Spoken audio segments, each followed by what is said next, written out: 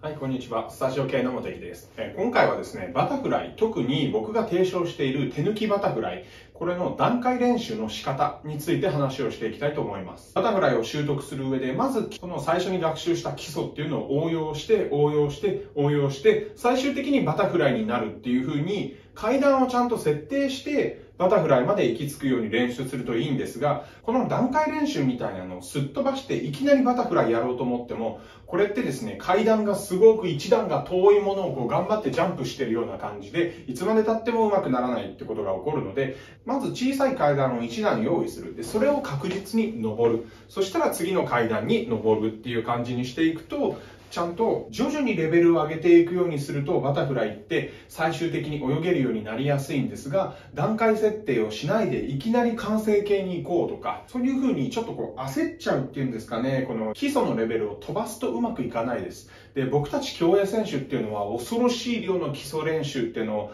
子供の頃にやらされてます。なので、基礎のレベルっていうのがものすごく高いんですよ。だから応用が難なくできるんですが、基礎がそもそも備わってない人っていうのは応用しようにも応用するための材料がないっていう感じになっちゃうので、まずは基礎練習をしっかりしていくこと。これがバタフライに限らずだと思うんですが、水泳で上達していく上で非常に大事になってきます。今回は水中動画も解説しながら、バタフライに必要な基礎ですね。イルカ飛びと気をつけキック、ドルブレ、まあ要は平泳ぎの手とバタフライのキック、合わせたもの。とあとは片手バタフライ。そして完成形のバタフライをやってみる。これでもまだきつかったら最終的にバタフライの最終手段っていう練習をしてもらうとバタフライが非常に楽に泳げるようになるかなっていう、えー、あくまでも僕が提唱してる手抜きバタフライ流の段階的練習方法。これをご紹介していきたいと思います。今現在バタフライ泳げてる人も泳げてない人もまずこのイルカ飛びですね。1番目のイルカ飛び。ドルフィンスルートも言います。これから最初に練習してもらうのがいいと思います。なぜならこの動きっていうのがバタフライの体重を前に乗せて体の浮力で上に浮いてきてまた体重乗せて浮力で浮いてっていうこの動きのまず第一の基礎になってくる動きだからです。では、イルカ飛びの注意点というのをですね、早速水中動画を見ながら解説してみたいと思います。はい、まずはイルカ飛びですね。指先から入って水の中でしっかり深く潜って浮いてきます。前に伸びてると勝手に体が浮いてきます。そしたら立ってもう一度指先から頭からプールまで結構プールの底までかなり近いところぐらいまでこう潜ってると思うんですよ。あれぐらい最初はしっかり下に潜っていった方がいいです。イルカ飛びをするとですね上に飛び上がっちゃう人が多いんですが上というよりも下に入っていく感じが理想です。今みたいな感じですね。上に飛び上がったり前に飛び上がるのではなくてちょっと下目に入る感じです。プールに逆立ちしに行くようなイメージで、くっとこう下に入れてあげる。そういう感じでイルカ飛びをしてみてください。はい、今のが水中でやったイルカ飛びです。気をつけるところはいくつかあるんですが、まず一つはですね、こうイルカ飛びするときに、とにかく遠くに行きたくって、前にこうジャンプしちゃう。こう前に飛び出す。こうすると意外と距離って伸びないんですよ。どうしたら距離が伸びるかというと、こう入ったらですね、こう逆立ちしに行くような感じで、下向きにぐんと入れて、水の中でしっかり胸を張って伸ばすっていうのをやると、まず下向きに入ることで体重が乗ります。この乗った体重を胸を張っていくことで前に滑らせていく。これで進んでいきます。なので、体重が乗ってないのに、こう、前にジャンプして飛び出そうってしても全然進まないので、ここは気をつけてください。あと、イルカ飛びで注意するところはですね、こう入るときに、顎を引いて自分のおへそを見に行くような感じでしっかり顎を引いて入ります。で水の中でですね胸を張りながら顔がこう前向いちゃう人が多いんですがこれはやめてください。これやると全然距離が伸びなくてすぐ浮いてきちゃいます。なのでおへそ見ながら入ったら顔はプールの下真下に向けた状態で胸をぐーっと張っていきます。そうするとイルカ飛び1回ですごく距離が伸びて僕1回のイルカ飛びで8メートルぐらい行きます。なので25メートルを3回のイルカ飛びで向こうまでつける。これぐらい体重を乗せて伸びるのが上手なんですよ。そうするとバタフライでワンストロークでぐーんとたくさん伸びて、ぐーんとここでいっぱい進めるようなバタフライになります。なので、まず最初に練習してほしいことはこのイルカ飛び。これをですね、25メートル2回か3回、まあちょっと余裕があれば4回ぐらいやってもいいかなと思うんですが、25メートルを3回、2、3回ぐらい、イルカ飛びをまず練習してみてください。で、その次ですね、気をつけキックを練習していくといいかなと思います。バタフライのキックで結構ビート板使ってキックする人多いと思うんですが、ビート板使うとどうしてもこのビート板の浮力にぐんとのしかかるような感じになっちゃって、胸の、胸のあたりがうまく使えないんで、足だけでキックする感じになりやすいんですよ。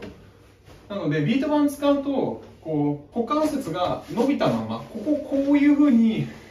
こう曲がって膝蹴りみたいなこういう動きをしてからキックするのではなくて股関節が伸びたまんま膝の曲げ伸ばしだけでキックするような癖がつきやすいんですよ。なので僕はバタフライのキックの時はビート板を使わないキックを練習する。こっちの方をおすすめしてます。でどうするかというと手を気をつけにします。で頭は真下を向いたぐらいな感じにしてでキックをしていくと。イメージはですね全身をうねらせていくようなイメージでキックをしていくとすごくいいんですがこれ結構難しいのでまずは最初はですねこう気をつけした状態から膝をプールの底に落とす。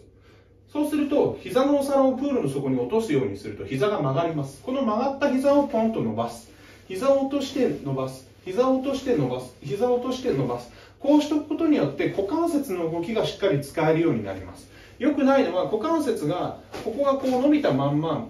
膝を曲げてこれでこうキックしちゃうとですね水面が大体この辺にあるので足が水の上に出てつま先で水をバッチンバッチンって叩いてすごい派手に水しぶきが飛ぶけど全然前に進まないっていうキックになっちゃうので必ずキックの時は膝のお皿を下に落とす。そして膝を伸ばします。膝を落として伸ばす。膝のお皿を落として伸ばす。これの繰り返しでキックをするように練習してみてください。これが2番目にやるべき気をつけキック。これも25メートル2回ぐらいでいいと思います。あんまりやると疲れちゃうので、余裕がある人はまあ何回もたくさんやってもいいんですが、だいたい2回ぐらいやれば OK かなと思います。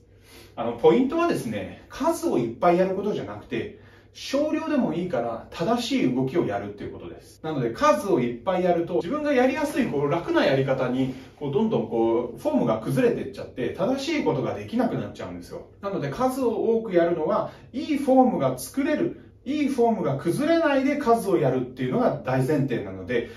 数をやればやるほどこうフォーム崩れちゃうっていう人は数やらない方がむしろ上手くなります。なのでまあ大体2回ぐらいできればいいんじゃないかなと思います。で、この次ですね、3番目。これドルブレ。平泳ぎの手にバタフライの足を合わせます。この練習で体重をしっかり前に乗せながら、バタフライの第1キックと第2キックっていうキック。これのリズムを体で覚えていく。これの練習のためにドルブレっていうのをやっていきます。これはあの水中動画があるので、それをまた解説してみたいと思います。えー、今、スタートしたところですね。でまず第1キックをしながら、ぐんとイルカ飛びのように潜ります。水の中で第2キックして平泳ぎの手をかく。1で潜って、2で平泳ぎの手をかく。1で潜って、2で手をかく。1で潜って、2で手をかく。これを繰り返していきます。とにかくリズムを大事にして、1で潜って、2でキックするときに足を蹴る。はい、えー、このドルブレがですね、1番であったイルカ飛びの体重を乗せていく動きと、2番であった気をつけキックでしっかり股関節を使っていくキック。これをこう合体させて、3番のドルブレっていう感じになります。いろいろ平泳ぎの手に関してもいろいろ気をつけるべきポイントとかいっぱいあるんですが、この練習に関しては平泳ぎじゃなくてバタフライを目標にしてるので、手はですね、まあ、あの、正直、どんな手でもいいです。タイミングさえ合わせてもらえれば OK です。まず壁蹴って毛伸びしたところから1のキックでぐんと下目に潜りますで2回目のキックとこの手をかくのを必ず合わせてください結構1でこう潜って2のキックした後に手をかくっていう風にタイミングがずれやすいのでここずれるとバタフライの手がめちゃくちゃ重くなりますなのでこのタイミングを合わせる練習これは結構やった方がいいかなと思いますまあ2回25メートル2回ぐらいでもいいんですがまあ体力的な余裕があれば3回とかま、4回ぐらいできるとすごくいいんじゃないかなと思います。で、イルカ飛びで体重を乗せる。気をつけキックで股関節からしっかりキックする。ドルブレで第1キック第2キックと手を動かすタイミングを学習する。ここまで来たらですね次は片手のバタフライを練習していくのがおすすめです。ドルブレで習得したこのリズムですね。こう頭から突っ込んでいくのが第1キック。頭がこう上に上がっていくのが第2キック。っていうこのリズムを習得したらこれで片手のバタフライを泳ぎます。片手のバタフライの注意点は手はですねあんまりこう大きく書かない方がいいです。割とこう前に伸ばした後書いてきたら肘を曲げてこの溝落ちのあたり溝落ちからおへそぐらいまで書いたらおへそまで書いたらですね後ろに押すのではなくておへそから横に広げていってくださいおへそまで書いたら横に広げます1で潜って2で手をかいておへそまで来たら横に広げる。1で潜って2のキックをしながらおへそまでかいたら横にパンとこう手を払っていくような感じですね。あの暑い日とかに被釈で打ち水ってするじゃないですか。水をパシャンってこうやって放るというかそういうイメージでこの手をしっかり前に運ぶぞとか上にこう上げるぞとかっていうふうに思わないで横にパンと払うような感じで抜いていく。この手をバタフライでやりたいんですよ。なので片手バタフライの時からそういう意識で練習してみてください。では片手バタフライの水中映像を解説してみます。はい、えー、今スタートしたところですね。しっかり第1キックで潜る。第2キックで手をかいて横に抜く。1で潜って2で手をかく。1 2 1 2 1 2必ずテンポを合わせて慣れるまでは頭の中で1 2 1 2ってカウントしながらやるのがおすすめです。はい、今のが片手バタフライです。で、ちょっと余裕が出てきた人はですね、1のキックでぐんと潜るときに手のひらを外に向けて広げるようにして潜ってみてください。で、2のキックの時に外に向いた手のひらを内に向けながら書く。1で外に向ける、2で内に向けるっていうことをやっていくと、ここがこう手のひらのこう切り返しの地点っていうのがですね、スカーリングをしてるような感じになって、水がグンってここでしっかり水がつかめられるんですよ。捕まえられるんですよ。ここで水を捕まえておくと結構体が上がりやすくなる。上がってると手が抜けやすい。で、高いところに上がった体がぐんと体重をかけて前に乗っていくっていうのでスピードが出ていくようになります。これがこのままズルズルって手のひら外に向けたり内に向けたりしないでズルズルズルって書いちゃうとあんまり体が上がらないので手も持ち上がりにくいし体重もあんまり乗らないって泳ぎになってしまうので1でちょっと手のひら外に向けていく2で手のひらを内側に向けながらパッと外に払うこんなところまでできると非常にバタフライの時にいいんじゃないかなと思います。でここまでやったら、両手でバタフライを泳ぐ。これをやってもらえるといいかなと思います。1番から4番までで、まずイルカ跳びで体重を乗せるのと、水の中でしっかり胸を張っていく動き、これを学習しました。で、2番目の気をつけキックで股関節をちゃんと使ってキックするっていうのを学習しました。で、3番目のドルブレ。平泳ぎの手とバタフライのキックをしていくときに、第1キックと第2キックにこの体のうねりっていうのを合わせるのと、手と足のタイミングを合わせる。こういう練習をして、片手バタフライで、この手の操作を勉強して、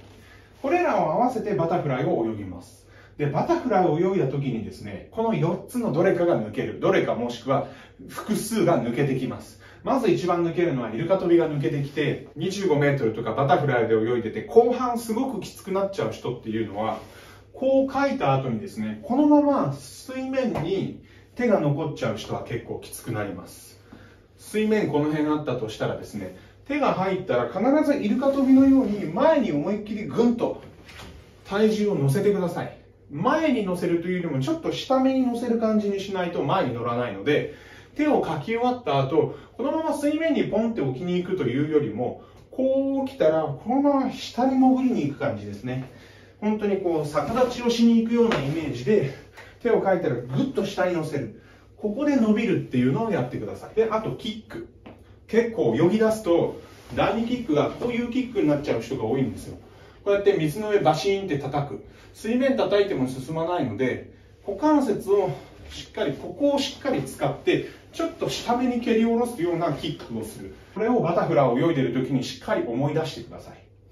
であとはタイミングですかね。第1キックで潜る。ここはみんなできます。第2キックで手をかきながら蹴るっていう、ここが結構ずれるんですよ。第1キックで潜りながらキックして、第2キックした後に手ってなっちゃう人が多いので、ここも思い出して見直してみてください。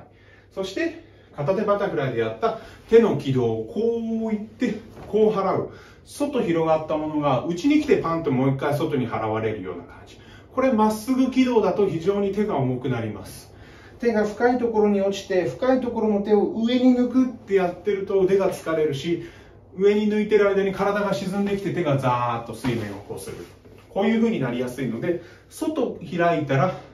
内に閉じてきてパンと外。外開いてから内に閉じて外っていうこういう軌道。これを見直すようにしてください。一応完成形のバタフライの動画もあるので少しそれを見ながら解説してみたいと思います、はい、向こうから来ます。こんな感じですね。1で潜る2でキック。1で潜る2でしっかり下目にキック。こういう風にしてバタフライを泳いでいきます。で向こうから来ます。1で潜る。2で手をか。く1でしっかり手が広がって閉じながらポーンと外に抜けてるのがわかると思います。はい、えこれら1番から4番までの基礎。これがしっかりできてくると5番目のバタフライもかなり気持ちよく楽に泳げるようになると思うんですがそれでも楽じゃなかった場合は最後6番目バタフライ最終手段というのをやってくださいあでちなみにですね、今回紹介した1番から6番まで、これら別々で、イルカ飛びはイルカ飛びで1本動画があるし、気をつあ気をつけキックだけちょっと動画ないですね。すいません。えー気をつけキック以外は、イルカ飛びもドルブレも片手バタフライも、すべて、あとこの6番目のバタフライ最終手段っていうのも、それぞれ別個で動画があるので、これらをこう練習していく中で、より例えばドルブレがうまくいかないなとか、片手バタフライうまくいかないなと思ったら、それぞれの動画に飛んで見てもらうと、今回よりももっと詳しく説明しているので、自分がうまくいってないポイントはどこなのかっていうのをつかみやすいと思います。ま、概要欄にリンクが貼ってあるので、もしわからなかったらそちらを見てもらえるといいかなと思うんですが、まあ、バタフライやってみて、最後、それでも手が抜けないとか、それでも泳げないっていう人はバタフライ最終手段をやっていきます。何をするかというとですね、でまあ、これが水面だとしたら、こんな感じでですね、ちょっと中腰になって、膝の上に手を置いてください。ここから、この腕を伸ばしたまんま、横にぐーっと水の上に出すっていうのを何度か、ここからぐーって出すっていうのをやってみてください。ものすごく腕が重く感じると思うんですよ。これは、伸ばして、この長いものを動かそうとすると、この付け根がめちゃくちゃ疲れてくるので、ここから肘を伸ばして、手を伸ばしたまんま水の上に素早く抜こうと思っても素早く抜けないです。今度はですね、手の指先を軽くこう重ねるような感じにして、親指で溝落ちのあたりを触ります。こういう格好をします。で、このまま肘から水の上に出して、肘が水の上に出たら、ポンとこの曲がってる肘を外にこう、肘を支点にくるくるくるっとこう回すような感じで、水の上でポンと回す。ここからスタートするのを何回かやったら、この辺からスタートして水の上でポンって回す。ポンって回す。こういう練習ですね。こういう練習を何回かしてみてください。で、気をつけるべきは手が全然重く感じないで回せる場所を探す。あ、この辺からだったらすごく簡単に水の上に抜けるなっていう手の形を探してください。それでバタフライを泳ぎます。まず第1キックで下にぐんと潜って、第2キックの時にこういう格好を作って、ここでこうやって練習した動きをそのまま第2キックの時にポンってやってあげると手がびっくりするほど軽く抜けるようになります。多くの人がここで手がここの位置じゃなくて深い位置になっちゃうんですよ。深いとこから上に上げてくるっていうので、もう腕が疲れちゃうし、ここから水面まで手を抜いてる間にも体が沈んできて手が間に合わなくてザーッと水の上に出ないってことになりやすいので、とにかく手が重い人はですね、こう、この辺から肘から出した後にポンと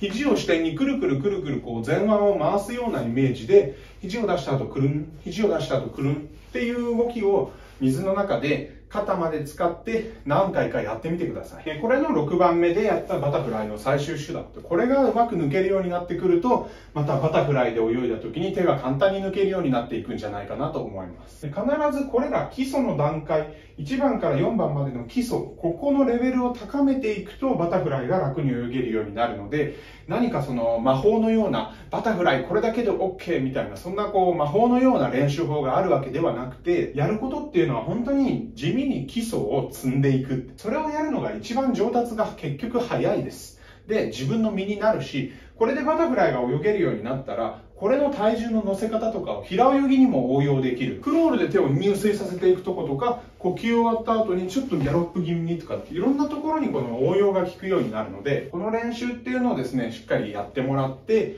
基礎力を高めてバタフライを楽に泳ぐ。こういうのができるといいんじゃないかなと思います。まあ、今回はですね、結構ありきたりな内容になっちゃったと思うんですが、このありきたりな内容っていうのがすごく大事なので、ありきたりなことをしないでなんか奇抜なものっていうか、一発で OK みたいな、そういうものをこうやるのではなくて、とにかく正しいことを正しくやるっていうこと。はい。これだけですね。これがめちゃくちゃ大事かなと思うので、ぜひバタフライで悩んでる人なんかは、この順番で練習して、ダメだったら最終手段やってみたりとか、ちょっと苦手なところは、あ、気をつけキックまだ足りないかな、みたいな感じで、徐々に徐々に土台、基礎の部分をしっかり作ってバタフライの完成形に近づいていく。そういう練習ができるといいんじゃないかなと思います。で今回も最後までご覧いただきありがとうございました。チャンネル登録や高評価が更新の原動力になりますので、よろしくお願いします。ではまた次の動画でお会いしましょう。